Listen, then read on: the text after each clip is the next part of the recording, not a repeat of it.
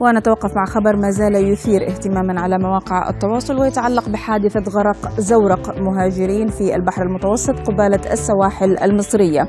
إذ انتشلت السلطات المصرية صباح اليوم 11 جثة إضافية بعد سحب الزورق لتصل حصيلة الضحايا إلى 179 قتيلا. وذلك بحسب ما أعلن المتحدث باسم محافظة البحيرة الذي أكد استمرار عملية انتشال الجثث.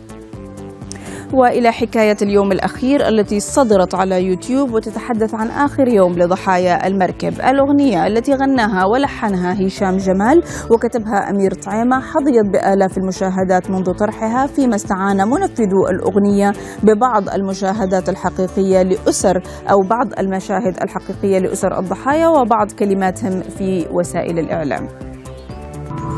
دي حكاية اليوم الأخير بدأت مع طلوع النهار.